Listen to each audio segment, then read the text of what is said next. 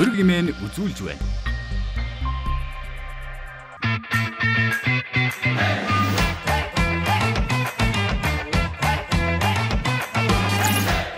Альва бизнесүүд нийгэмдээ үнцэн өв үлдээхийг зорж ажилладаг. Бид энэ удаа дэлхийн брэндүүд нийгэмд ямар алсын хараатай үн цэнтэйгээр зорж ажилладаг талаар Premier Tailor компани үүсгэн байгуулагч захирал Зоригийг урьж ярилцах гэж байна. За бидэнд цаг гаргаж урилгын маань хүлээн авч ярилцах болсон баярлалаа. Хоёулаа ингээд 6 жилийн дараа дахин ярилцах байна. Бизнес өрөг нэвтрүүлгийн одоо бизнес өрөг гэдэг нэртэйгээр хийж эхэлсэн хувилбарыг хамгийн анхны зочноор орж исэн. Түүнээс хойш 6 жил өнгөрсөн байна. Тэр үеийн бизнесээс одоо бизнесүүд нь нэлээд өргөжин тэлж салбарлсан харагдаад байгаа. Одоо хэдэн компанитай, хэдэн ажилтнтай ямар ямар брэндүүдийг оруулж ирж байна. За урьж оролцуулж байгаа маш их баярлалаа. Тэгээд бас 6 жилийн өмнө бизнес өргөд анхны зочин болоод орсондоо маш баяртай байдаг.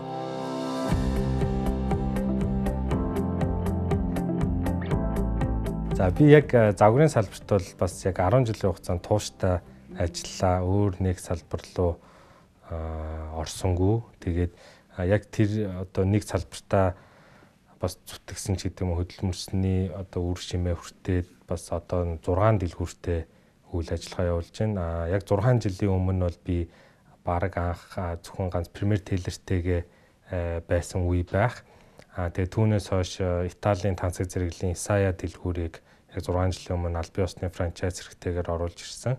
А үүний дараа Аам дэлгүүр гээд Аам Quinto-г Shangri-La Mall-ын нэг давхарт байдаг малти брэнд дэлгүүр байгаа. Малти брэнд гэдэг нэг одоо дэлгүүр дотор олон тооны брэндүүд зэрэг зарагддаг. Ингээд манай компани а Gucci, Dior, Balenciaga, Celine, Yves Saint Laurent Dolce & Gabbana, Moncler, Clive Christian за одоо энэ жил Loewe гэдэг ийм 9 брендийн албан ёсны одоо цор ганц Монголдо үйл ажиллагаа явуулдаг ийм хоёр дэлгүүрт болсон. Нэг нь эмгтээчүүдэд зориулсан, нөгөөх нь эрэгтэйчүүд зориулсан. Өнгөрсөн жилийн яг одоо шинэ оны босгон дээр бас косметикийн салбарт хүч үзгээд Steel Lauder Group компанитай хамтарч ажиллаад түүний одоо MAC Cosmetics-ийг аль бие усны эрхтэйгээр моно брэнд дэлгүүрийг нь бас одоо нэг 7 хоногийн өмнө 10 брэнд чинь Steel Lauder-ийн одоо доторх компани гэсэн үг Steel Lauder тийм групп компани.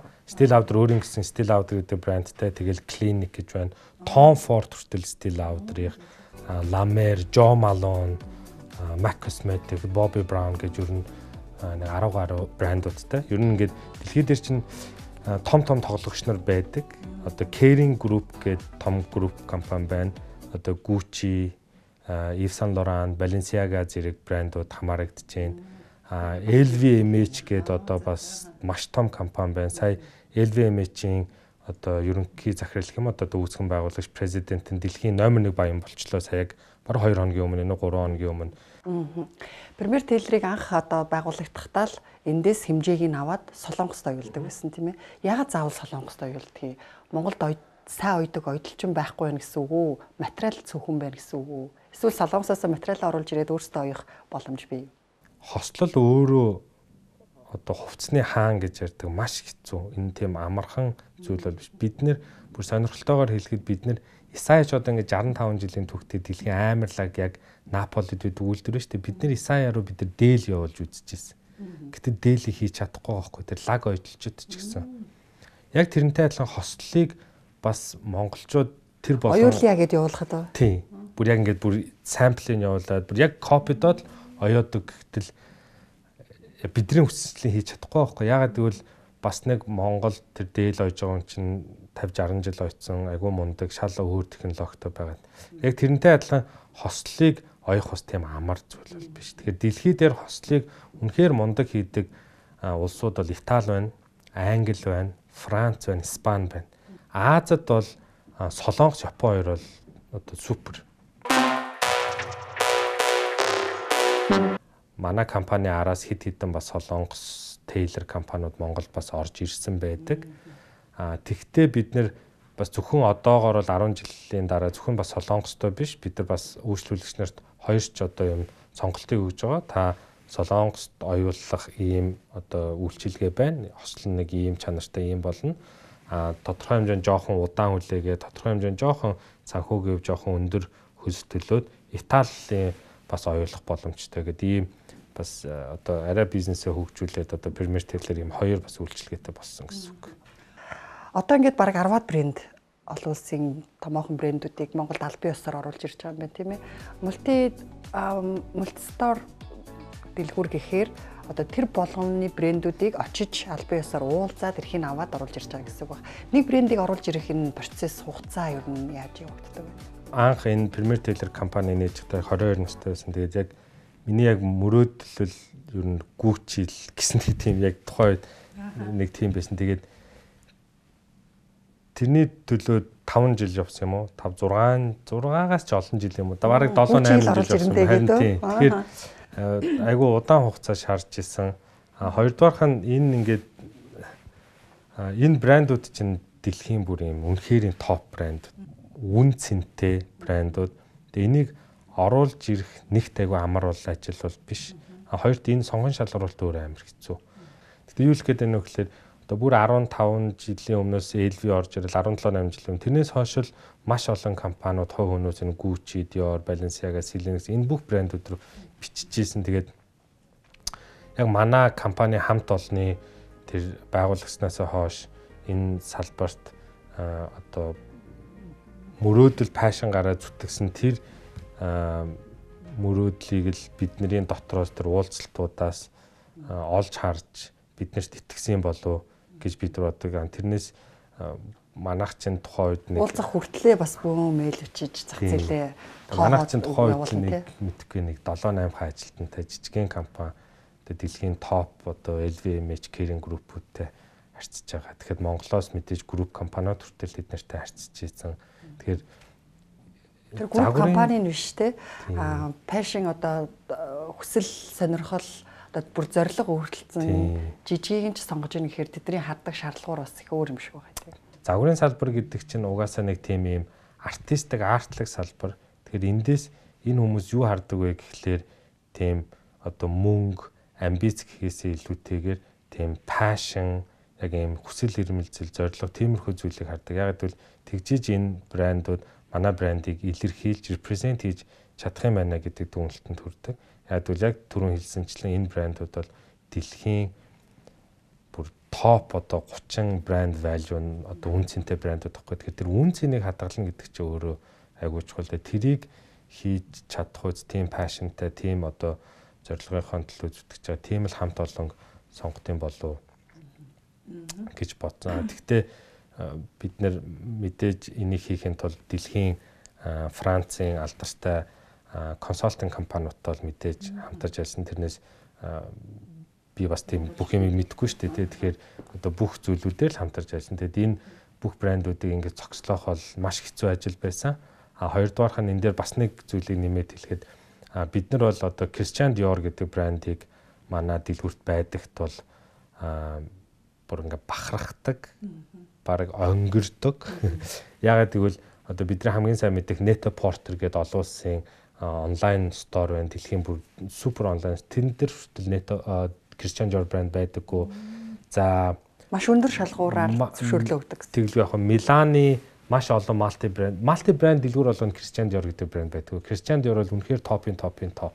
Тусдаа концепт стор байх, тэр шаардлагатай байх байгаад байдаг шүү. Манай Монголын одоо энэ Am Quinto гэдэг дэлгүүр Christian Dior гэдэг брэнд байгаагаараа ер нь судлах юм бол дэлхийн топ 100 малти брэнд дэлгүүр донд бол зүү ёсоор орно.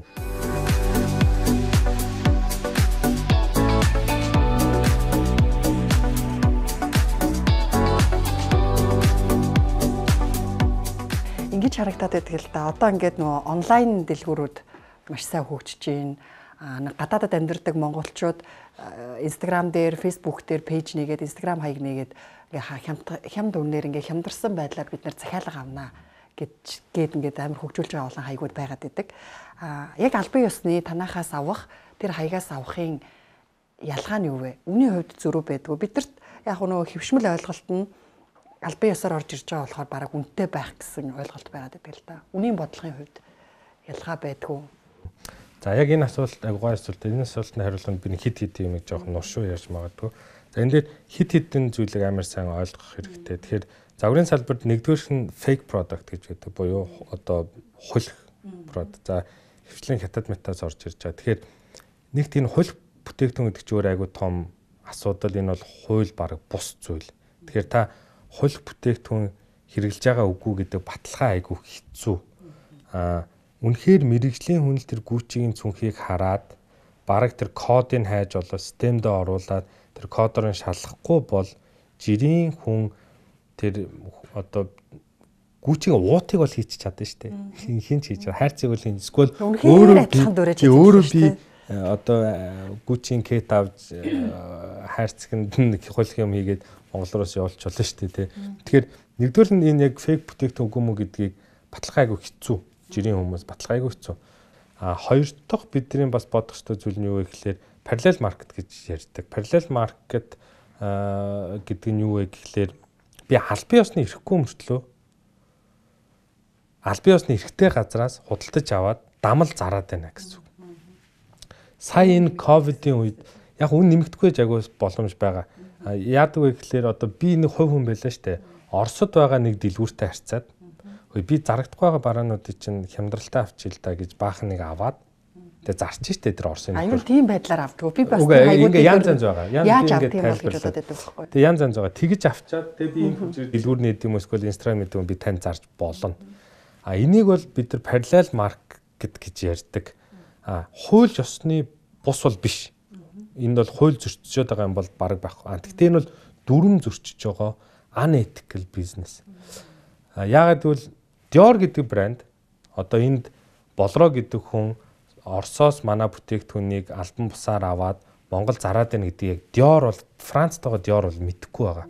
Тэр энэ бол ийм unethical business. Тэгэхээр ийм unethical бизнесийг би бити их дэмжээсэй гэж бодож. Энэ бол ингээд загварын салбарын өөр айгүй том юм асуудал. Энтэй брэндүүд ч тэмцгийг хичээдэг а одоо дэлгүүрүүд ч одоо хүмүүс тэмцгийг хичээдэг. Тэгээ яг анзаарах юм бол тэр хаягууд жоохон хугацаа өнгөрөөл нэрээ солиол байдаг л да. Тийм үү те. За гурав дахь асуудал нь юу гэдэг вэ гэхлээр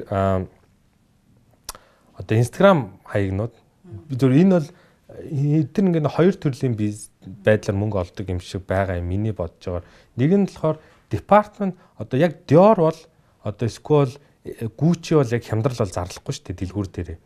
А гэхдээ department store зарлана. Одоо multi brand дэлгүүрүүд зарлана. Тэгэхээр Миланд байгаа нэг хүн ч юм уу, Америкт байгаа нэг хүн тэр Macy's ч юм уу, Nordstrom ч орд юм уу, Nashente ч орд юм уу хямдралын үеэр Gucci-гийн кет аваад. Тэгэхээр нэг 1000 долларын кет 40 юмдрангууд 600 доллар болонгууд нь аваад Монгол төрж ирээд би 1000 долларын кетийг 800-аар зарж ишүү гэд ингээд зараад байх магадлалтай. А хоёрт нь энэ Instagram хайгуу жааж нөхөр энийг бол би мэдгүй яг assumption хийж байгаа. Тэр нь 1000 доллараар кет авчаад tax free-г авч байгаа шүү дээ тий. Тэгээ Европын зарим улсуудад tax free зүгээр шууд улстай авчдаг байхгүй юу? Заавал тэр нисэх онгоцны буудал модал дээр очиод ах шаардлагагүйгээр зүгээр декларац хийгээл нэг явж байгаа нөхөрт тамга даруулаад шууд ингээ харьцан тийчих болд. Тэгэхээр тийм байдлаар нэг 100 200 доллар аваад тэгээд нэг тэрнээсээ нэг жоохон хямдруулаад ингээд ээж байх магадлалтай. Миний хэлэх гээд байгаа санаа нь юу гэхээр нийт үзэгч гэдэг юм нийт одоо Монголын хэрэглэгчнэр ийм за нэгдүгээр фейк бүтээгдэхүүн хууль бус эсвэл саяны ярьсан энэ хоёр буюу юм unethical одоо дөрмийн бус гэдэг юм уу ийм бизнесийг одоо аль болох баг дэмжээч А яагаад гэвэл одоо манайх шиг хэд хэдэн компаниуд байна л да одоо Шангрилад одоо байгаль дэлгүүр байна. Master Time Watch гэдэг энэ одоо Rolex-ыг оруулж ирдэг дэлгүүрүүд байна. За Versace эдрийг оруулж ирдэг юм компаниуд байна. Burberry эдрийг оруулж ирдэг бас компани Glamour гэх компани. Эднэр ингээд зөвхөн бүтээгдэхүүн зархаасаа илүүтэйгээр өөр маш олон зүйлд хөрөнгө оруулж байгаа хгүй дэлгүүрийн дотор тогтчол ажилчдын цалин татвар нийгмийн даатгал за цаашлаад зүгээр нэг бүтээгдэхүүн зараагүй аль болох энэ энэ салбарыг одоо хөгжүүлээ энэ нийгмийг боловсралтай болгоё гэж контентууд маркетингтэй зөвхөн зар сурталчилгаа биш юм. Одоо контент маркетинг гэдэг иймэрхүү зүйлд ингээ хөрөнгө оруулж болохоор эргээгээд бас одоо ийм одоо ажил хийж байгаа ийм одоо дүрмээрээ ажиллаж байгаа компаниудад дэмжээч гэж уриалж байгаа. А тэр санаа нь бол зөв тийм ээ. Тэгтээ үн яа. Тий тэгэхээр үн ярих байхгүй. Хэрэглэгч бол хамгийн хамгийн эцсийн байдлаар сонголтоо хийхэд яг үнийг нь харж байгаа л авч байгаа тийм ээ. Мэдээж яг тэр жинхнүү оргуу хулхуу гэдгийг бол харах бах. Дараа нь бол хамгийн чухал үн гэдэг л да. Тэгэхээр үн яг хямдхан орж ирч чаддгүй. За хямдхан гэх юм одоо юу гэх болохгүй тий одоо ямар байдгийг харьцуулахад юу вэ? За үнийг бол одоо Европоос энэ компаниуд өөртөө аягүй сайн хяндаг. За бид нар манай компани хийсэн нэг ололтон ч гэдэг юм уу юу вэ гэхлээр бид нэр одоо манай оруулж ирдэг брэндүүдийг имар буюу Европ, Middle East тэгээд Russia гэсэн энэ нөгөө имар гэж нэрлэдэг байхгүй имар гэдэг тэр бүртгэл рүү оруулсан байхгүй юу гуйж агаад Asia дээр биш Аз дээр биш тэгэхээр манай үн Европ, Middle Eastern Оросын үнийг дагдаг гэсэн үг.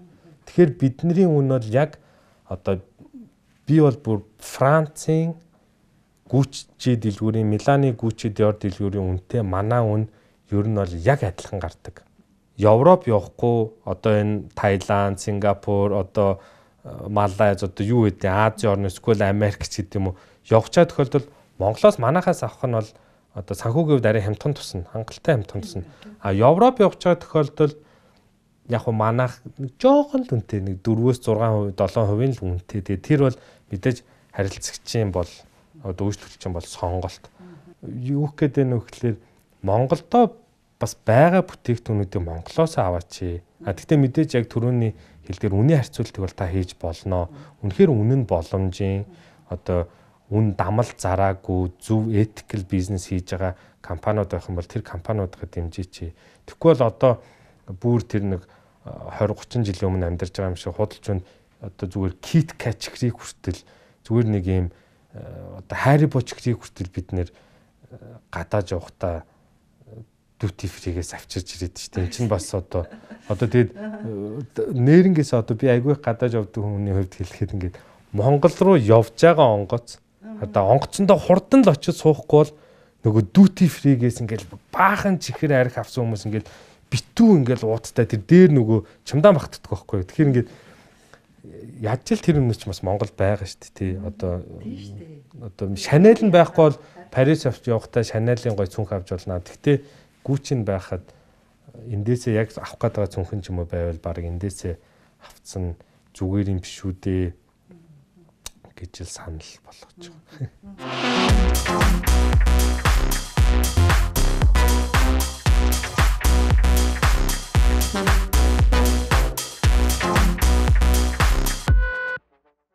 Хоёул ангил брэнд нэлээ ярьлаа те. Сүүлийн үед ч бас монголчууд айгу брэнд өмсдөг болцсон байна. Instagram хай Instagram ороод үзэнгүүл ингээл битүү брэнд өмсөн хүүхнүүд байгаад байдаг.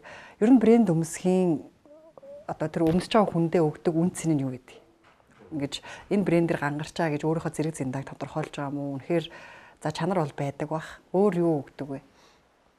За би энэ дээр бас яг одоо үзэгчдтэй хандаад бас яг нэг зөв ойлголт өгөх хэрэгтэй гэж бодож байна. Тэрний юу гэхээр брэнд гэхээр бид нар дандаа л тансаг зэрэглэлийн брэнд гэдэг бодоод байдаг. Тэгэхээр ерөөсөө тэгж ойлгож болохгүй. А брэнд гэдэг нэг ойлголтын донд үнэтэй юм, дундаж юм, хямдхан юм гэж бас байгаа. Тэгэхээр яг манай компанид өнөөдрийн хүртэл бид нар тансаг зэрэглэлийн салбарт л зүгээр ажилласан. А тэгвэл брэнд гэдэг зүйл өөрөө амар чухал. Ямар ч тохиолдолд чухал та магадгүй өнөөдөр 5000 төгрөгөөр нэг гой подолк аваад та happy байсан байж болноо. А тийм агүй юмд авчлаа гэл амар happy байсан байж байна. Тэгтээ тэр 5000 төгрөгний ар тэрийг хямд байлгахын тулд Вьетнамд нэг 13 настай хүүхэд одоо үйлдвэрт одоо одоо юуны та ажлын мүлжлэг хийлгээд за тэгээд наад улаан өнгөчин гаргахын тулд маш муухай пигмент ашиглаад тэр нь гол далаа бохирдуулаад ингээд ингэж таны гар дээр хамтгаа очиж байгаа шүү. Тийм болохоор аль болох энэ сонголт бол таны гарт байгаа. Тэгэхээр аль болох ийм одоо брэнд ч гэдэг юм энэ компани бүтээгдэхүүнүүдийг сонгоо. Брэнд өмсөн гэдэг чинь гол утгаараа яг тэр одоо ийм яг л миний түрүүний хэлээдсэн та ethical бизнесийг л дэмжиж байгаа л тийм л одоо зүйл гэсэн. Хувцас гэдэг чинь өөрөө өөрөө өөрийгөө илэрхийлж байгаа байхгүй. Тэгэхээр тэр хүн хувь хүний сонголт. Тэр хүн яаж илэрхийлмээр байна гэдэг нь таны сонголт. Магадгүй та тэр хувцсыг өмснөөрөө баян харагдмаар байвал магадгүй хувцас тань тийм хүчийг өгч болно. А нөгөө талдаа магадгүй та нийгмийн хариуцлагатай сайн харагдмаар бол хувцс танд тийм зүйлийг өгч болно. Нэг хэсэг тэр нэг Аргентины нэг брэнд байсан да би нэрийг мартчихад байна. Гэхдээ нэг ийм углаашин нэг ийм гутал нёгийг авбал нёгийг Аргентины ядуу хүүхдүүдэд өгдөг. Тэгэхээр тэр гутлыг өмсөж байгаа хүн би өөрөө 200 доллар амар үнэтэй пүүз өмссөн байна гэдгээ харагдуулмаар байгаа мó эсвэл би 200 доллар авсан чинь нэг гутал Аргентины хүүхдэд очисон гэдэгтээ өөрөө тэр хүн амар сэтгэл хангалуун байгаа мó ч гэдэг юм уу.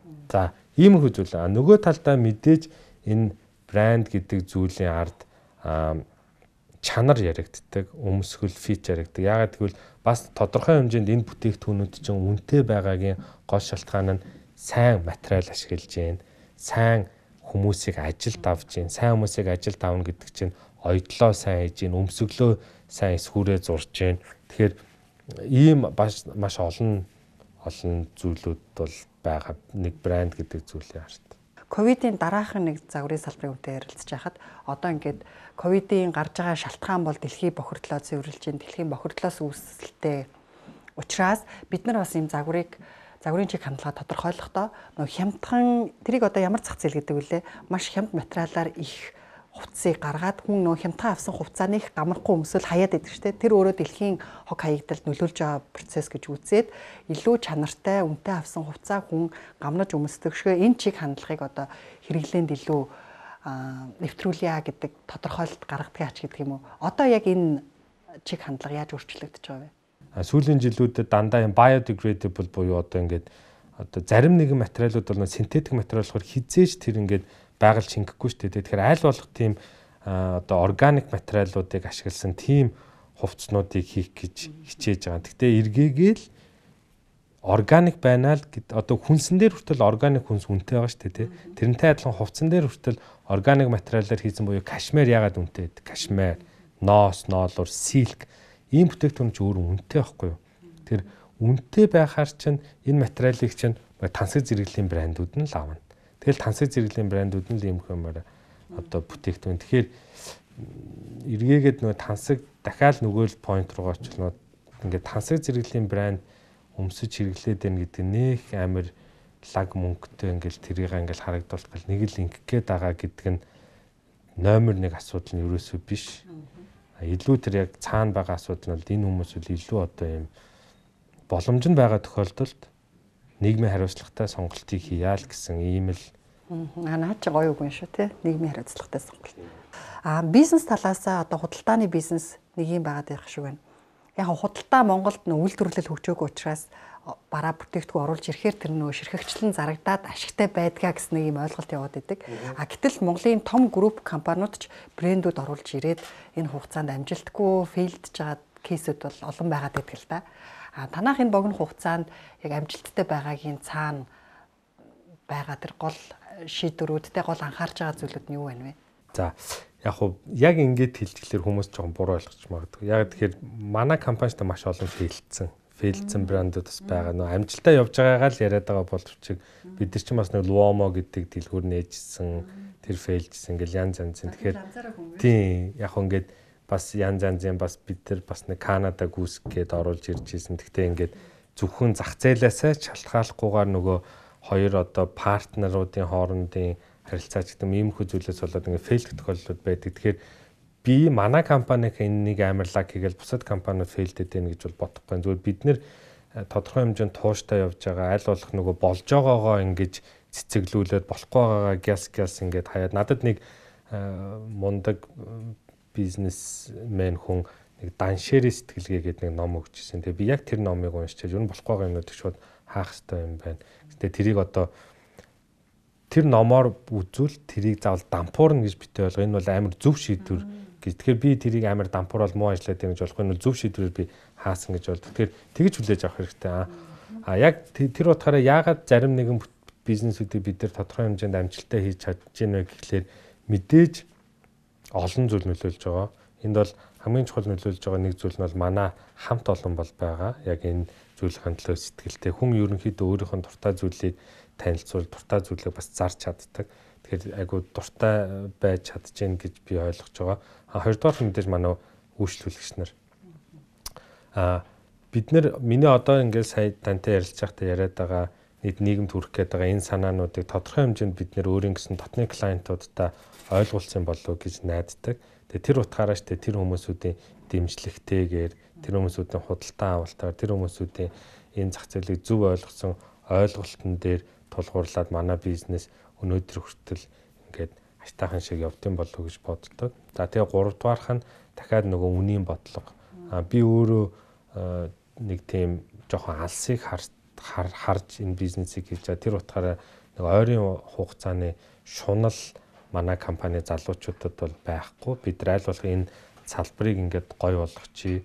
Монголчууд Монголоос юм авдаг эхлээд болгочихъя. Тэрний дараа олон гой брэндүүд орж ирээд ингээд энэ одоо ритейл буюу энэ одоо борлуулалтын салбар тодорхой хэмжээнд хөгжих болов гэж харддаг. Тэр утгаараа манай аль болох өөрсдөндөө нэг төгрөгний ашиг олох гэхээс илүүтэйгээр 0505 гэчий тий одоо харилцагч нар тодорхой хэмжээний хөнгөлөлтөй тодорхой хэмжээний боломжтой тодорхой хэмжээний юм юмтай хийжгээ. Тэрийг тэгээд манай одоо нэг тодорхой хэмжээнд үйлчлүүлдэг зөв ойлголттой үйлчлүүлэгч нар ойлгоцсон болохоор манай компаниас худалдаа авалт тэгээ гадаад дотоо жоохтой харьцангуй бага авдсан болов гэж ингэж ингэж боддог.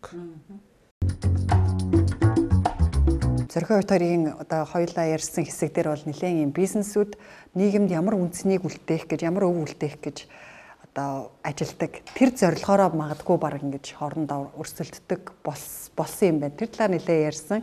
Тэгэхээр та бүхний бизнесүүдийг бас яг өөрсдийнх нь үндсэн концепц нийгэмд ямар үнцийг үлдээхийн төлөө зорж ажилдаг талаар сонирхмоор байна. Rolex-ийн бас хамгийн гоё концепт хүн болгон барыг мэддэггүй маа. Аа өөрөө бол сан гэж явдаг. Тэгэхээр хамгийн анх байгуулсан одоо Hans Wilsdorf гэдэг хүн бол 110 гаруй жилийн өмнө үүсгэн байгуулсан байна. Тэгээд одоо гэр бүл байхгүй учраас өөрөө сан болгоод ажилчдаа үлдээсэн.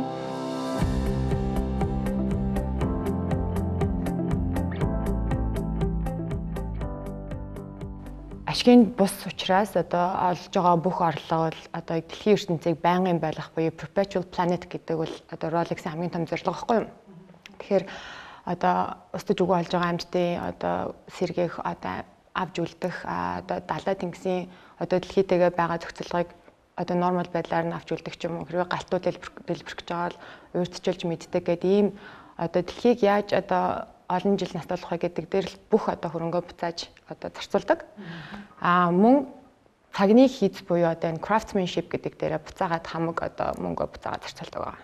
Ер нь бол концепт нь яг тийм. Ийм сан хэлбэрээр ажилтдаг нэг тийм нийтлэг тархаг ойлголт биш. А тэгэхээр мэдээж ашигын төлөө байдаг компаниуд ойлгомжтой шүү дээ. Мэдээж хөрөнгө оруулагч нарт буцаагаад могл ашиг тарах. А Rolex-ийн ийм байдаг учраас одоо бид нар хідэн төргөний одоо борлуулалт хийдэг хідэн ширхэг цаг зардаг ч юм уу тэр бол ерөөсө тодорхой байдаггүй. Яг багцаагаар бол одоо Morgan Stanley-гээс гаргадаг нэг тийм репортууд дээр бол ойролцоогоор авсан байдаг. Тэгэхээр тэрийг одоо яг та бүхэн Монголд байгаа салбар нэг нэг нийгэмд тийм таниулж хүрэгдэх хүргэх тал дээр нэг одоо ач холбогдолтой. Ер нь бол Rolex бид нэр ингэж нэг медиагаар ерөөсөө юу хийдгээд зарлах бас цаанаасаа хориотой.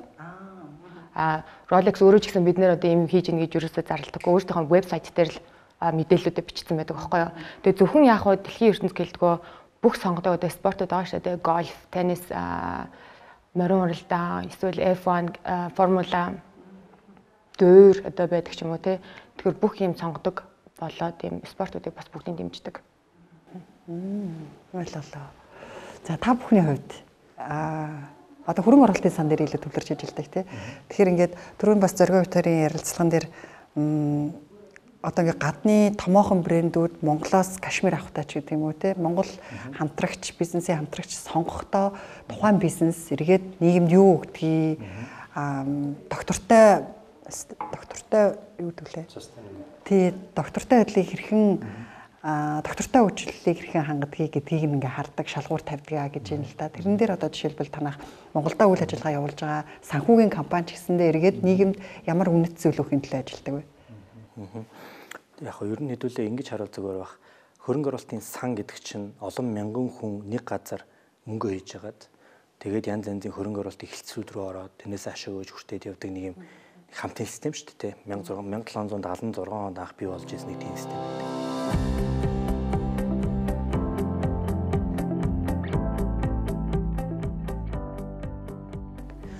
Тэгээ энэ систем бол эхэндээ бол ерөөсөө тийм ESG гэдэг юм уу ямар нэгэн тийм бол боддог байгаа ч юу энэ бол сүүлийн л одоо эдэн жил одоо дэлхий өөрөө ингээл маш хэмжээгээр бид нар жигтлэгээ хордуулаад буруу болгоол ингээл хүн төрөлхтөн чинь шунлын тулам шүү дээ. Тэгээ явсаар бол ийм болж юм л та.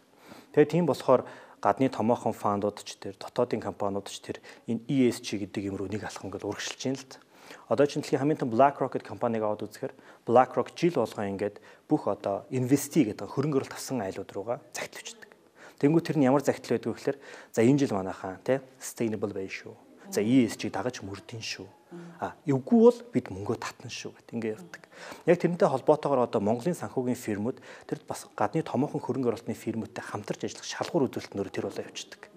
Тэгэхээр хөрөнгө оруулалтын фирм гэдэг чинь гадны бас хөрөнгө оруулалтын фирмийн л бас өнөөс хийж байгаа. Ингээ дамжаал явж байгаа процесс шүү дээ. Тэгэхээр нэгэнт л энэ зах зээл рүү өсөрч орё л гэж байгаа бол угаасаа л ESG-г бодохгүй болохгүй. Тэрнийг ярихгүй бол болохгүй болчихж байгаа. Тэр ер нь бол Монгол улс бол энэ дэлхийн яг задлаад нэрлэхэр юу нэ? environmental sustainable gender гэдэг баха. Тэгэхээр энэ бүх зүйлүүдийг нөгөө нэг бодохгүй болохоор бидний дэлхийн санхүүгийн захаас л жоохон холдох гээд байгаа байхгүй яг хөө би тэд бол ингэдэг одоо манай ах чинь болохоор хөрөнгө оруулалтын фирм учраас ер нь бол хөрөнгө оруулалтын фирмүүд чинь цаана баахан л бичиг цаасны юм байгаад байна шүү дээ тэ тэгэнгүүт тэр бичиг цаасны юмн дээрээ л дандаа энийг шингээг явуучих боломжтой байж байгаа. А тэгэхээр хөрөнгө оруулалтын фирмийн хамгийн гол нь хөрөнгө оруулагч нар хөрөнгө оруулалт авж байгаа айлууд руугаа шахалтыг үзүүлждэг. А яг тэр өөрөөсөө бол илүү бичиг цаасны ажил хийгээд байгаа байхгүй. Тэгэхээр тэр бичиг цаастай холбоотойгоо үйл ажиллагаан дээр энийг шингээж өгч болдог. А яг зүгээр тодорхой хэмжээний нөө гендертэй холбоотой асуудлуудыг бол бас хяналт тавиад явчих болдог. А гэхдээ жинхэнэ импакт ерөөсөө тэр инвестийн нарлуу ингэж дамжих суугаар ингэж явж байгаа байхгүй. Тэгвэл хөрөнгө оруулалтын фирм ч өөрөө тийм том биш. А тэнгуү тэр инвестийн нарын юу гэдэг бол хамгийн том одоо хүч чадал нь байгаа байхгүй маш олон байгууллагуудыг одоо банкуудыг харьцуулаад бод. Банкуудад олон мянган зээл олгож байгаа компаниуд байж байгаа тий. Тэр компаниудаа шаардлага тавиад эхэлчихдэг. Энэ өөрөө санхүүгийн фирмийн одоо хамгийн том хүч чадал нь л байгаа байхгүй тий. Өөрчлөлтийг авчирч болдог. Сайн нөө Balenciaga брэнд ингээд амар шүүмжлэлт өртсөн тий. Сурч реклам сурталчилгаагаараа. Тэгээд тэрний дараа нэг хэсэг ингээ хүмүүс өөрсдийнхөө тэр брендийн хувцсыг одоо урж мурж байгаа видео сошиал орчин нэлээд явсан. Тэгээ тэндээс одоо жишээ нь манай Монгол брэндүүд юу суралцах хэвтэй.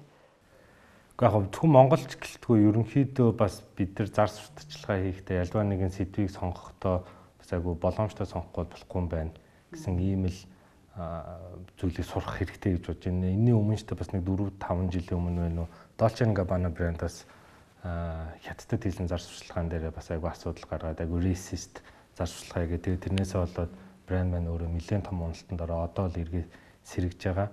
А Balenciaga брендийн хувьд бол яг creative director нь өөрөө уучлалтгүйсэн. Бид нэр бас үнэхээр мэдсэнгүй. Харин ч баг баярлаа. Энийг маш хурдан мэдээ сошиал ертөнц энийг бас биднэрт тараагүй үнцгийг маань гаргаж өгсөн баярлаа. Бид нар энийга 100% зогсоолоо гэдээ өөртөө штэ энийхээ одоо уучлалтаа хүссэн. Тэгэхээр мэдээж энэтэй холбоотой одоо эргээд брэнд э, бодлого дээр ажиллаж байгаа хэл та дараа дараагийн коллекц дээр илүү сайн ажиллах хэрэгтэй юм байна гэдэг. Ягаад тэгэхээр э, яг түрүүний хэлсэн тэр ESG гэдэг бол ингээд айгүй гадаадын хувьд бол гадны кастомеруудын хувьд бол одоо хамгийн юм чухал сэдвүүд нэг болсон. Одоо альва нэгэн бараа бүтээгдэхүүнийг авахад одоо нөлөөлөх маш чухал зүйлүүд нэг болсон. Яг Монголд мэдээж бид нэр одоо хөгжиж байгаа дөнгөж хөгжиж байгаа орон эдийн засгийн олигтой хөгжөөгүй хүмүүсийн цалин орлогын түвшин бага гэдэг утгаараа мэдээж бид нар маш price sensitive. Бидний хувьд бол хамгийн их одоо decision буюу одоо шийдвэр гаргаж байгаа дээр одоо үн маш их нөлөөлдөг. Гэхдээ яваанда одоо ганц зөр зэрэглээ хэлдгээр ингээд яагасай л гэж бодож байна одоо утга учирыг эрхэмлээд яваа яваандаа ингээд миний сонголтын ард зөвхөн үн биш бас дараа дараагийн олон ийм зүйлүүд байгаа юм биш үү гэдгийг ойлгосоо гэж бод. Тэгэд саяхан би бас нэг ийм философи нэг нэвтрүүлэг үзчихсэн Монгол.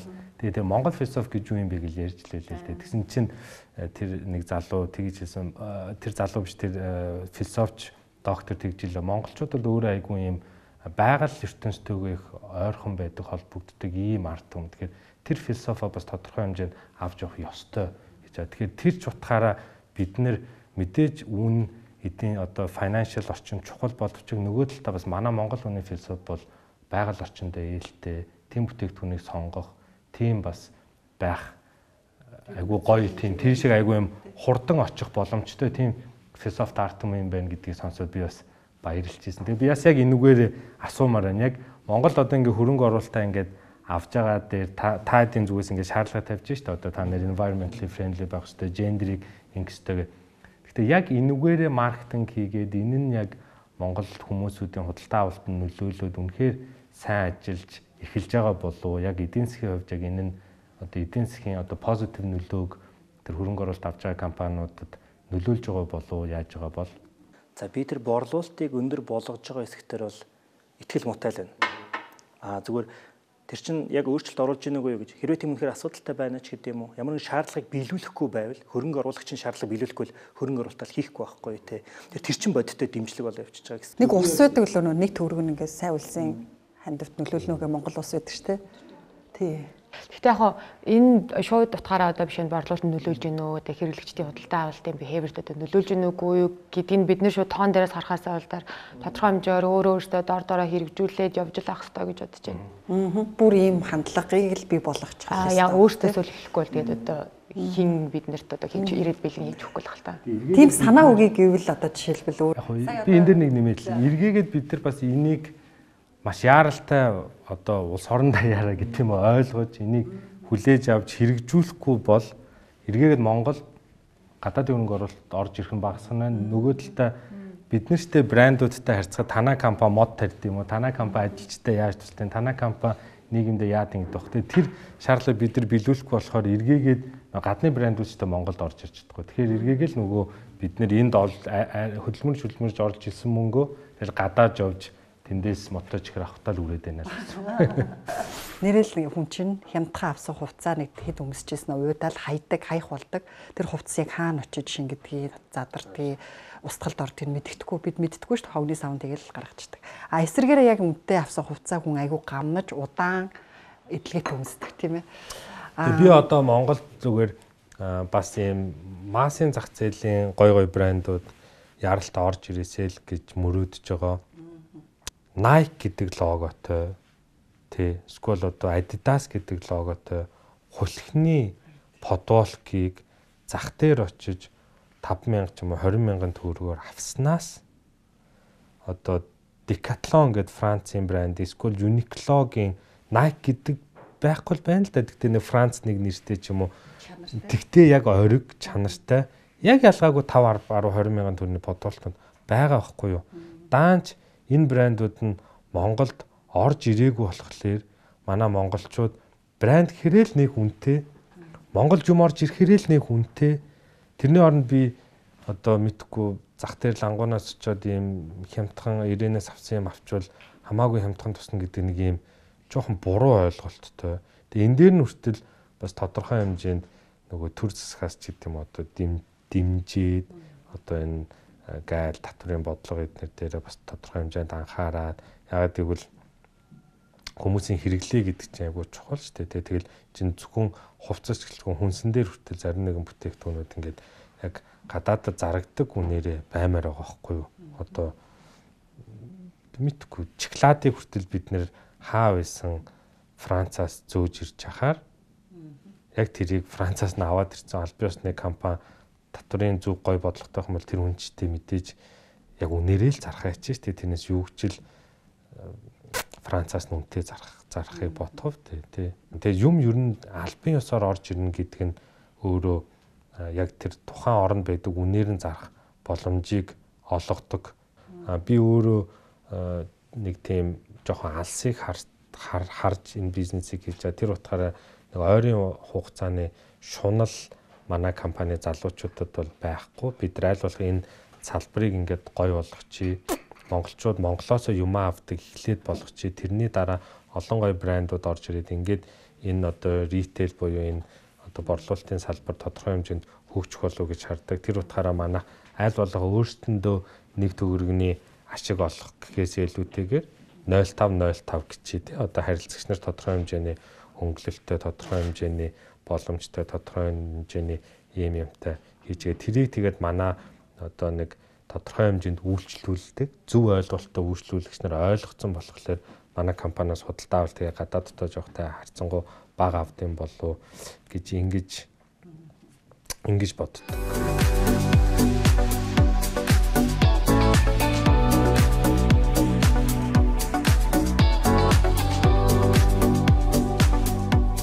Тэгэхээр хэрвээ одоо магадгүй та бүхний хувьд бол туршлагатай хүмүүс учраас одоо жижиг бизнесүүдэд ийм санаа өгье гэвэл одоо ямар тийм нийгэмд үнц нь өгсөн байдлаар шууд маркетинг биш гэхдээ ер нь явандаа энэ бол ингээд үнэт зүйл өгсөн үн цэнтэй бизнес гэдэг талаас нь хөгжүүлж эхлүүл зүгээр гэж бодож байна.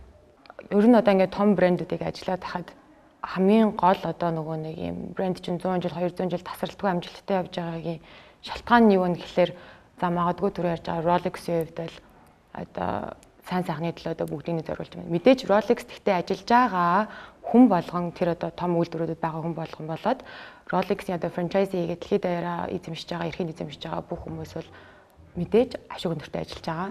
А тэгэхээр энэ үн цэн гэдэг юм одоо хүмүүстэй үнэхээр одоо нөгөө нэг бодитоор хүргэх нь хамгийн чухал байгаа байхгүй юу. А тэрнээс биш тодорхой нэгэн манай Монголд айгүйх анзаарэгдэж байгааг хараад хаад айгүйх нөгөө брэндүүд үүссэн байдаг. Тэгээд нэг жил ч юм уу хоёр жил ч юм уу тэгээд нэг юм тодорхой барьсан юм нэг концепт юусоо байдаггүй.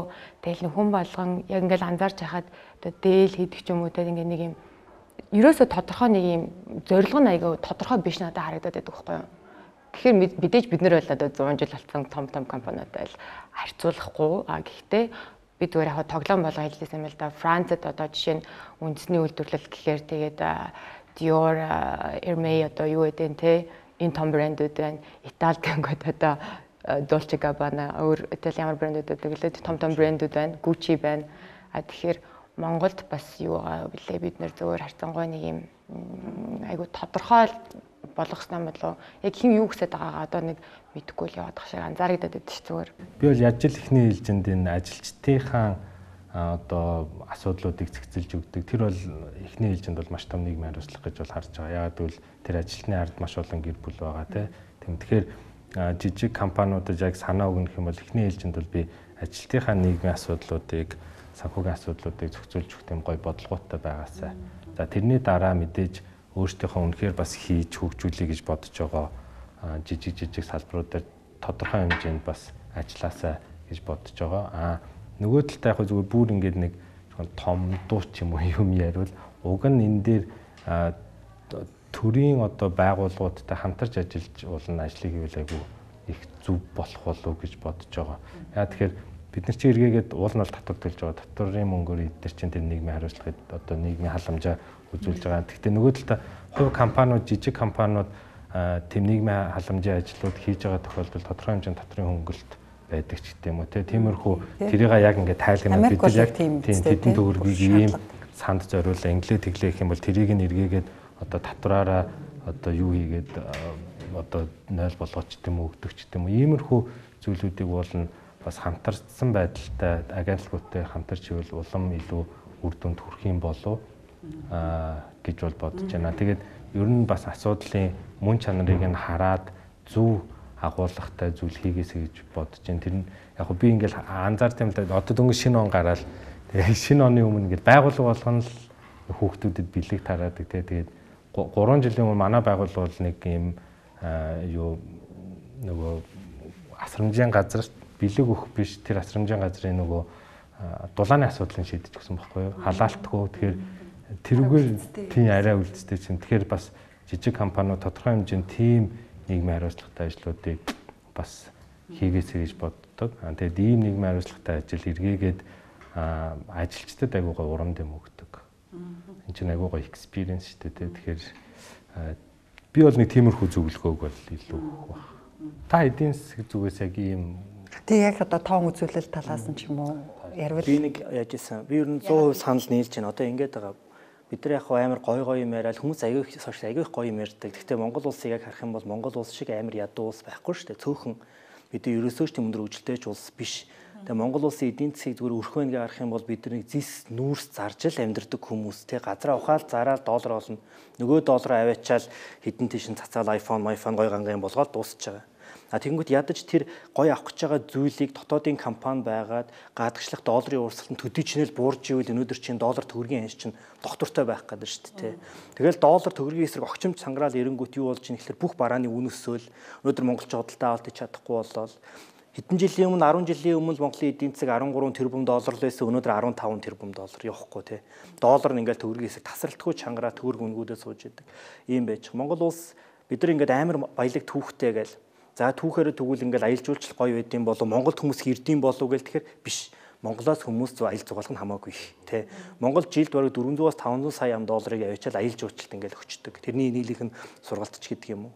А тэгээ тэр нэмээд худалдан авалт ч юу ч гэдэг ингээд бүр гараал урсаал гэдэг урсаал гэдэг тий. Дуусахгүй байгаа юм. Тэр бид нар ийм эх оронч үйлдэл хийж сурах хэрэгтэй л яхаа аргагүй дотоодын компаниудыг дэмжих хэрэгтэй. Валютыг дотоод үлдээхийн төлөө тэмцэх хэрэгтэй.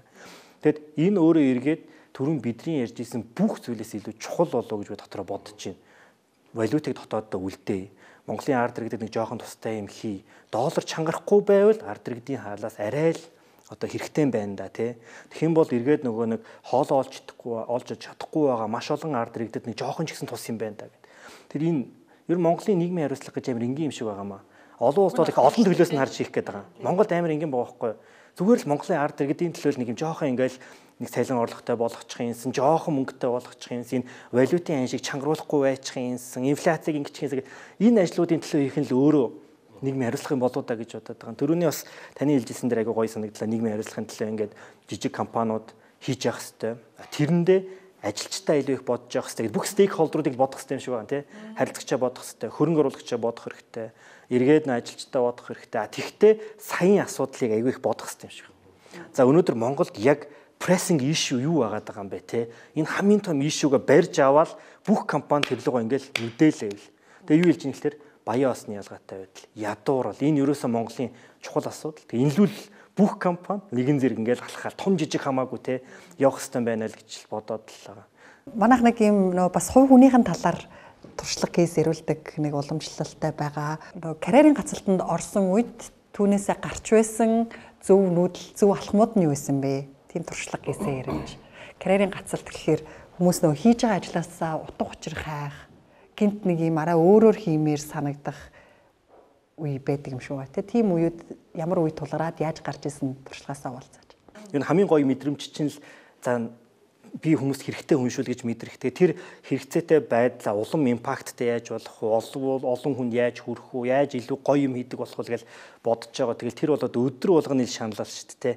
Яавал илүү гоё юм ийхүү гэж бид нар одоо чинь бодохоор тэтгэврийн реформ гээл хийсэн байна. Тэгэл баахан хөдөлгөөн болоод хүмүүсийг нэгтгэл яамд очоод бичиг сачиг өгөөл, хуулийн драфтыг бичиж өгөөл, тэтгэврийг шинжлэх хэрэгтэй байна. Монголчин social security system байгаад нэг уран давхар тогтолцоо гэл баахан яриад явсан. Тэгэл тэр тэр бас нэг хэсэг л байгаа даа. Тэгээд бид нар хөрөнгө оруулалтын сан гээл өнөөдөр одоо манай нэг хөрөнгө оруулалтын санд л ихэд 9000 хөрөнгө оруулагч нөгөө дээр нь 37000 бүртгэлтэй хүн ч гэдэг юм ингээл 40000 хүнийг ингээл бас тодорхой хэмжээгээр ийм рүү оруулаад ирээдүйн хуримтлалыг бий болгоод ингээл яваал.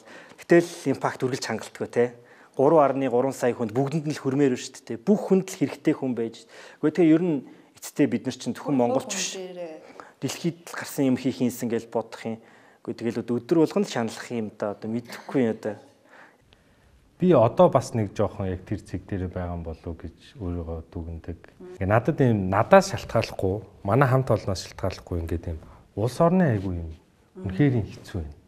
Яагаад тэгэхээр анх нэг 1000 долларын юмыг одоо 2 сая 400-аар зардаг байлаа шүү дээ. Гэтэл одоо 1000 долларын юмыг 3 сая 600-аар зарах гэхэд би тэрийг үйлчлүүлэгчнэр түнхээр ойлгуулчихдаг юм. Тэгээ угаасаа авах авах нь багасч чинь. Тэгэхээр яг би яг юу хийгээд байгаа юм бэ те яг эргээгээд уул нь ийм залуу ингээл бид нар ингээл нийгэмдээ халамжтай юм хийхийг хичээх ажилчтай халамжтай ингээл яг нэг үнийн хүртэл Европын үнэтэй адилхан те эндээс нэг нэг төгрөг арай бага болж энийга одоо нийт худалдаа авагч нартай зориулж игэл ингээл нэг ийм юм уул нь харахын даанч тэгээд яг өөртөө наалдж байгаа юм яг үннийг хэлэхэд маш бага юм байна. Монгол бизнес эрхлэх нэг бодлын амар гэдэг боловч financially яг ингэж бизнес хийж бид нар шиг залуучдын хувьд бол айгүй хэцүү юм байна. Яг өөртөө наац юм байх. Тэг бүр ингэж би яг юу ч хийгээд байгаа. Ингээл гаднаас ингээл гой юмнууд ингээл оруулж ирээх юм. Гэтэл нөгөө улс орн маань миний шүүсийг шахаадах юм. Одоо ингээд татвар дахиад нэмэгдэх юм шиг байна. Ингээд нэмэгтэй ингээд яг Монгол бизнес ихэд эргээгээд жоохон амар биш хэцүү болоод байгаа юм шүү. Өрсөлдөөн багтаа нь бол үнэн тэр утгаараа ингээд өрсөлдөх айгу гайгүй амархан. Гэхдээ financially эдийн засгийн хувьд гэх юм уу инфляци, валютын ханшаа ингээд зөрүүгийн тооцоод үзэхээр ямар ч тийм юу байхгүй. Эргээгээд ингээд зардал бол амар нэмэгдэж байна. Монголд нэг бас нэг тийм ийм одоо стереотип ч гэдэг юм нэг тийм зүйлээд тэр нь жил болгон ажилтны цалин инфляц бөгөөд түүнээсээ дээш нэмэгдэх ёстой гэдэг ийм ажилтан болгон ойлголттой байдаг. Тэрийг билүүлэхээс өөр аргагүй. Тэгэхээр цалингийн зардал жил болгон 15-аас 20% нэмэгдэж байна. За түрээс давхар нэмж байна. Одоо татвар нэм. Тэгэхээр яг бидний халаас нь үлдэж байгаа зүйл байхгүй. Би ч тэ мэдээж ингэж их хөдөлмөрлөж байгаа. Би ч яг нэг бизнесмен хүн бол мэдээж ингэж их хөдөлмөрлөж байгаахан шимээр бас нэг тодорхой хэмжээнд эдийн одоо санхүүгийн эрхчлөлтөө болохыг л мөрөөддөг баг. Тэгтээ тийшээгээ хүрэх айгүй хэцүү. Тэгээд одоо бас нэг юу вэ? Эсвэл нуруугаа ахуулж ийн гэдэг л болоо тийм тий. Тэгээд тэгэл одоо бас нөгөө яриад байгаа. Тийм болохоор ядаж одоо улс орн бодог юм бол үйлчлүүлэгчнэр та нар бодоод бидрээс бодол таавал хийж чиг бараг бараг л одоо ингээ гуугаад байгаа байхгүй. Тэгэхгүй бол Диорын хувцас зараал гэдэг их л амар гоё. А гэтэл Сингапурт өсчний салон ажиллаж байгаа манай найз яг үнэ хэлэхэд надаас илүү баян байна. Надад мөнгө зээлж байна Яг манайх бол мэдээж аягүй цөөхөн үнэтэй компани. Тэгэхээр олон үнэтэй компани дээр одоо яаж вэ мэдэхгүй. Тэгэхээр манай бол чинь үннүүд хэлбэлцдэг. Яг ханшны дагуу. Тэгэхээр энэ бол яг хэрэглэгчдэд 100 очиж байгаа. Гэхдээ харьцангуй ядаж ажилчтай бодоод манай ажилтны цалин бол ядаж нэг инфляцид өртүүлэхгүй шиг аваад явчихад байгаа байхгүй юу? Цөөхөн хүн дээр бол жишээ нь. Гэтэ трийг нөө хэрэглэгчдэд ингээд тайлбарлах болдгоо гэж байна шүү дээ. Тийм тийм яг хуу одоо харьцангуй тэгэл орж иж байгаа хүн болгон тэр чинь нэгээр нь тайлбарлана. Одоо монголчин цөөхөн хүнтэй уучраас яг харьцангуй бас та доллараар тэрнээс дээ. Тэрнээс биш одоо аюу олон хүнтэй гадны жуулчид маш их хэрдэг байсан компани байлаа гэхэд бол бид нэр хизээч ингээд ханшийн дагуу нөөцлөгдөл байх ямар ч боломжгүй л байхгүй энэ чинь яг л нэг юм фикс байх хэрэгтэй тий. Тэгэхээр айгүй хэцүүлдэ яг юун дээрээс нь авч одоо баланслах хэрэгтэй юм бэ. Зоргийг хэлж байгаа бол ихтэй яг үнэ нөгөө яаж харж байгаас бид нар өөрсдөө хүртэл ингээд нөгөө мэдрийн бидрээс гарах хичээл зүтгэл хүртэл өөрчлөгддөг юм байна л да. Тэгээ тэр би сэтгэлгээгээ өөрчилж иж энэ маань ингээд өөрчлөгдсөн гэсэн тийм одоо туршлага байдаг та нарт. Би хороолт төссөн. Тэгээ хороолт ингээл яг тэ найзуудтай гудам тоглол өсөж байгаа шүү дээ. Сега мега тоглол. Тэгээд юу гэж боддог байсан гэхлээр би бол жижиг гар Тий начиг гарууд бол тэгээл нэг тий ингээл мастер сахар дадлага идэл байж идэг ёстой л хувь тавилантай л хүн том мундаг гарууд л том юм хийдэг. Тэгээ бид бол тэрний ард ингээд зайж ах хэвээр гэж боддог байсан. Тэгээд ингээд ажил хийж үзээл янз янз юм уншаал хараал ингээл явах тусам хүү би ингээд өөрийгөө нийгмийн нэг хэсэг биш юм шиг нэг юм надад хин нэг юм хийж их хэвээр юм шиг харцдаг байсан юм биш үү. Гэтэл Монгол гэж үе. Монгол гэдэг чинь хүн. Тэгэхээр би чинь Монголын нэг хэсэг. Монгол гоё болно гэдэг чинь би гоё болох тухай асуудал. А энэ нийгмийг өөрчлөхийг хэнийг өөрчлөх юм бэ? Би л чадлаар өөрчлөх юм байна. Би л ингээ орох юм байна. За ингээл өөрийгөө ингээл золиол нийгэмд явдаг юм байна хүн чинь. Энд чинь л амьдрал юм бэ штэ, ингээ өрнөл юм бэ штэ гэдэг ойлголт байгаа даа. Тийм л бодол ингээд жоохон овоо нэг нас яваал ингээл юм унших тусам, судлах тусам, хүнтэй харьцах тусам л мэддэг юм байна гэж ойлгосон штэ. Хүн одоо жишээ нь энийг үдчихэж байгаа хүмүүсээс те өөрийгөө би бол тий бид бол бид бол тоглоомын гадуур байдаг хүмүүс тэр мундаг хүмүүс нь хийх байх гэж бодож байгаа бол харамсалтай мэдээ байна тий. Тим хүн байхгүй хинч танилаа санаа зовхгүй юм байна. А эсэргээрээ сайн мэдээ байна. Тэр нь болохоор та харин өөрөө өөрчлөлт хийдэг хүн чинь биш үсттэй тий. Тэгээ өөрийгөө ингээд хүн өөрөө өөрийгөө дайсан болоод өөрийгөө үгүү хийгээд өөрийгөө гутраагаад ингээд ингээд суугаад байгаа юм биш үсттэй гэдэг ийм нэг юм л байна. Би яг өөртөө юу гэж менталитигаа яг өөрчлөх хэрэгтэй байна гэж бодсон бэ гэхээр дандаа эрэгтэй хүмүүстэй ажилтдаг. Дандаа надаас хамаагүй одоо ахмад хүмүүстэй тэгээд бизнесийн одоо 20 30 жилийн туршлагатай хүмүүстэй тэгэхээр дөнгөж 20 эдтэй хүн байл тийм ямар туршлагагүй л байгаа байхгүй юу. Тэгээд тэрнээс жоохон сүрддэг байсан гэх юм уу. Тэгээд манай бас нэг инвестор манай нэг гадаад инвестор надад хэлсэн байхгүй юу. Чимээ чи дөнгөж одоо 26 талаатай ч гэсэн хэрвээ бид нартай хамт энэ ширээний ард ингээд сууж байгаа бол чи бид нартай адилхан л гэсэн үг. Тэгэхээр хизээч ингээл бид нартай адилхан эсвэл биднээс илүү гэдгээ батлах гэж ингэж нэг юм одоо бүр ингээ нэг юм proof point хийх гэлтэй ингээ нэг юм одоо дандаа нэг юм сэдвийг гаргаж ирэхээр тэрийг нь өөрөө би одоо няцаадаг ч юм уу эсвэл дэмжих гээд хичээдэг ч юм дандаа нэг юм тэмцэгч болчт юм шиг үлээ.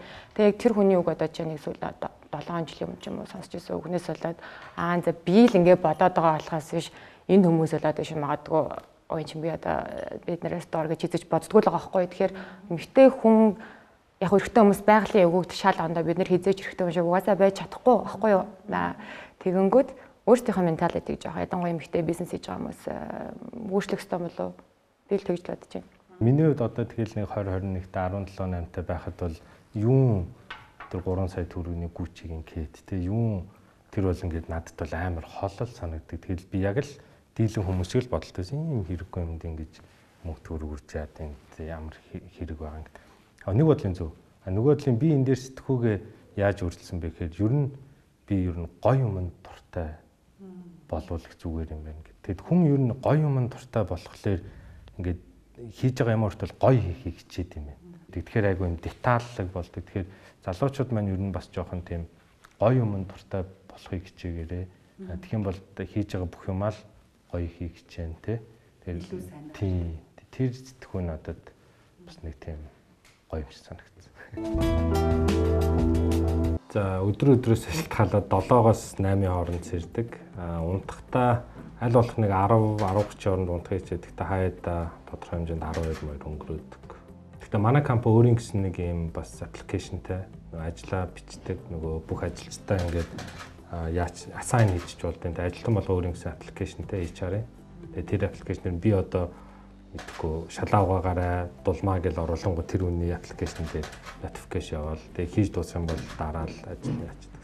Сайн төлөвлөн, сайн бодон тэгээд хамгийн амархан хурдан хийх ёстой ажлаасаа эхэлж хийгээд яг суух ажлаа хамгийн сүүлд нь тавьдаг. А одоо яг уншиж байгаа ном нь The Intelligent Investor гэдэг сүүлд нь Монгол нь орчуулагдсан байна. Монгол дээр нь уншиж байгаа ухаалаг хөрөнгө оруулагч гэдэг аль болох ирээдүйд хөрөнгө оруулалтын мэдлэгтэй болъё гэсэн тийм зорилго тавьсан тэрэндээ хүрэхин тулд уншиж байгаа. Хамгийн сүүлд яг өөрөө ингээд нөгөө сургалтын төвд хамрагдаж сургалтанд бол суугаагүй маш удаж байна. А яг тэгтээ бол нөгөө нэг байнгын брэндүүдээс бол сургалтанд суудаг. А хамгийн сүүлд Задигийн Волтерийн нэг сургалтанд тэр нь хамгийн сүүлд байсан байх гэж санаж байна. Анх бизнес хэлж байхад тэрээс амралтын өдөр гэж байдаггүй байсан. Одоо бас гэр бүл хүүхэдтэй болчихлоо аль болох гэр бүлдээ зарцуулахыг хичээж байгаа. Нэгдүгээрх нь алдаанаасаа суралцсан. Хоёрдугаарх нь байнга баярлаж талархаж яв. Гуравдугаарх нь зөрүүлээд байнга уучлалт гуйж гимээс хариулж яв. Итали хэл сурахыг үнэхээр их хүсэж байна. Тэгээ одоо тэрийг л тэрэн дээр харин өстой сургалт хайж байгаа шүү. Одоо ингээд зоргогийн хувьд баг хамт олонных нь хувьд ингээд загварын салбарт маш сайн туршлагатай болчихлоо тий. Тэгээ гадны одоо яг энэ хамтрагч брэндүүд нь ч гэсэн хинбэ юу хийж чаддаг вэ гэдгийг мэддэг ийм холбоо харилцаа гүүрийг бас гаргачлаа. Өөрөөсөө яг Монгол брэнд бий болгоё гэж зордгоо магадгүй гадагшаа экспортлох. Яг үнийг хэлэхэд Монгол брэнд хин гэвэл яг таны хэлдэг үнэн кашмирын брэнд хин. Тэгтээ энэ дөр үргэлжлэгч нар маш олон байгаа. Би өөрөө нөгөө дизайнер хүн бол биш.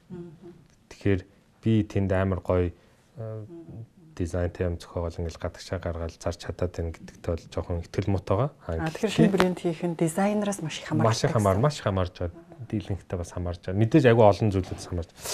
А тэгтээ мэдээж би Монголын одоо гадагшаа гарыг гэж бодож байгаа брэндүүдэд өөрийнхөө одоо нэтворк гэдэг юм уу нөө танилын хүрээндээ би туслахыг бол маш их хичээдэг. Бусдаар бол Монголоос өөр хувцсны амарлаг брэнд гадагшаа гараад байх нь одоохондоо юу л бол Монгол хүний нэг тийм буруу ойлголт байдаг юм шиг. Тэгэд энэ нь нэг жоохон э, монголчуудны сүүл нь ус төрчглөө нөө попорн попорн гэдэг нэг үг гараад байгаа шүү дээ. Яг нэг тэрэн шиг нэг попор хоорон ус төрчт нь бүх юмаа л Монголд байна. Оймсоо Монголд үйлдвэрлэн костюм бижакон джинс бүхэл юмаа л Монголд үйлдвэрлэдэг болно гэдэг нэг ийм коммунист улс шиг юм ярьж pop тэр нь ингээд зарим хүмүүс таалагтай амар гоё бид нар Монголдо үйлдвэрлэх гэдэг юм. Тэгэхээр альва улс чинь өөрийн гэсэн ийм экспортод гаргадаг бүтээгдэхүүнээ бодлого гэж бол байдаг байхгүй.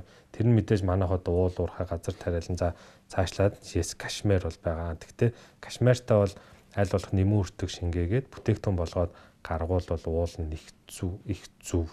Тэгвэл манайх чинь нийт түүхий кашмараараа дэлхийн бараг 40% мөвчлөө нэлээд бараг номер 1 шахуун байт юм билээ шүү дээ өвөр Монгол манайх хоёр. Тэгэхээр аль бол тэндээ нэмүүртэг шингээх нь бол маш зөв. Аа тэрэн дээр бол би судалж их үзсэн аа манахаас кашмир авъя гэж байгаа брэндүүд бол байд юм бэ нэлээ. Одоо үнэхээр байд юм билээ. Лакшри одоо топ брэндүүд тийм. Даанч одоо quality ч гэдэг юм уу тиймэрхүү юмд нь хүрдэггүй. Дээрээс нь одоо ингээд дэлхийн ийм лаг лаг брэндүүдтэй компанитай гэ брэнд гэж ярих компанитай ингээ харьцаад үзэхэд зүгээр энд ингээл нэг амар гоё ноолуур самнаал ингээд байгаа нь яг 100% чухал биш байхгүй юу?